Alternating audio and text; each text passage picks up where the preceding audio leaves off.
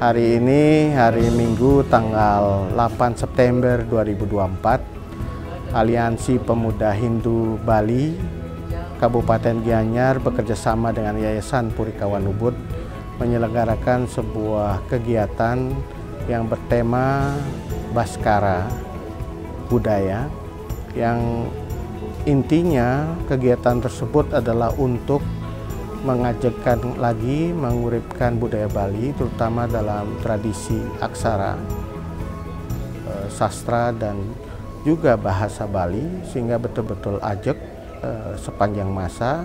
Oleh karena itu Yayasan Puri Kawan Ubud memberikan support yang penuh terhadap acara ini.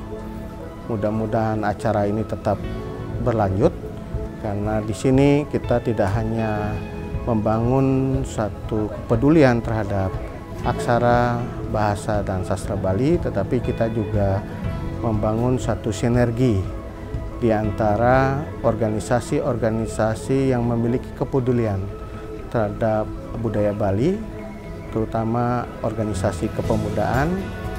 Di dalam hal ini, Yayasan Purikawan Ubud mendukung penuh keterlibatan dari Aliansi Pemuda Hindu Bali Kabupaten Gianyar dan juga di seluruh Bali.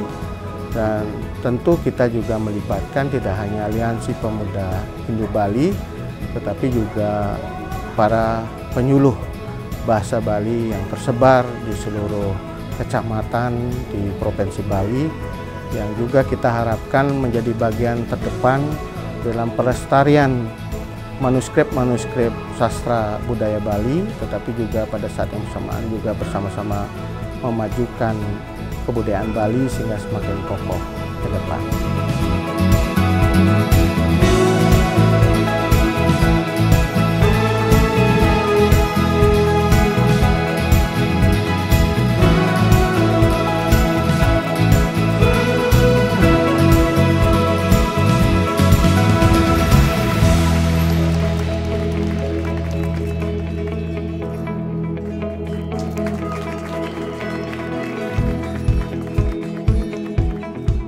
Hari ini kita akan uh, mendengarkan perlombaan kekawin putra dan putri untuk menunjukkan uh, talentanya di dalam bergita melantunkan kekawin.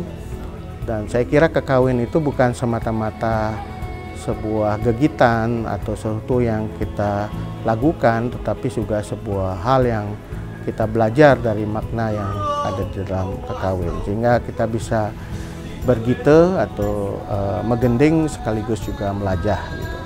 Yang kedua kita juga akan melihat uh, perlombaan nyurat lontar. Saya kira ini sudah banyak dilakukan tetapi ini akan terus kita dorong sehingga kemampuan untuk nyurat lontar juga menjadi bagian yang dimiliki oleh anak-anak muda Bali dan terakhir juga kita membuat sebuah lomba penulisan opini yang mama opini ini sangat penting eh, di dalam melihat perspektif anak muda di dalam pemajuan dan pelestarian kebudayaan Bali.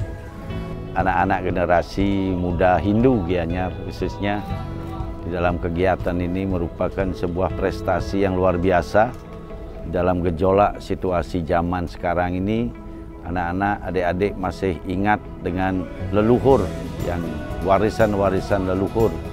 Sebagai bukti-bukti kepada leluhur salah satunya adalah dengan melanjutkan uh, warisan-warisan uh, leluhur yang berupa simbolik-simbolik filosofi-filosofi. Karena dalam konteks ajak Bali kekuatannya agama dan budaya itu adalah di akar akarnya itu adalah filosofi. Dan ini harus terus disosialisasikan kepada umat dan masyarakat sehingga Bali suka membesar sekarang ya. Nah, nanti kalau tidak akarnya kuat sedikit angin bisa tumbang. Selamat berkarya dan bersastra. Semoga Rahajang Rahayu Suksuma. Uh, saya tuh sangat uh, senang mengikuti uh, acara ini dan sangat berbahagia karena kami telah mendapatkan juara satu dan ini pengalaman pertama saya mengikuti APHB Gianyar. Semoga ke depannya Lomba Baskara Budaya ini bisa menjadi ramai dan bisa menjadi wadah untuk minat dan bakat uh, siswa-siswa di Provinsi Bali ini. Kami ucapkan uh, semangat untuk teman-teman. Terima kasih yang sudah membantu segala pihak terlaksananya Baskara Budaya yang kedua di Kabupaten Gianyar. Harapan kami dan tujuan tentunya dari Baskara Budaya ini sendiri adalah untuk menggali potensi-potensi budaya dan semangat dari kreativitas adik-adik sebagai juga sebagai wadah dan wahana untuk pengembangan diri dari adik-adik kita untuk generasi selanjutnya untuk terus berkembang dan mempelajari warisan budaya kita ini tentunya. Dan tentu dengan rasa sukacita yang mendalam dengan penuh rasa kebahagiaan kami eh, dari Aliansi Pemuda Hindu sangat berterima kasih kepada Yayasan Turi Kawan.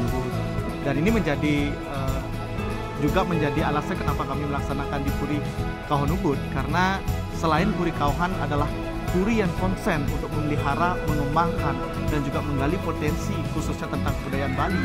Kita juga berharap dengan kerjasama dengan Puri Kauhan Ubud dengan yayasan ini ke depannya kegiatan-kegiatan ini lahir untuk melahirkan bibit-bibit yang baru.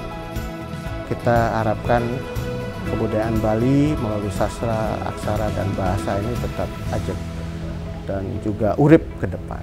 Saya kira itu. Terima kasih. Om Santi Santi Santi Om.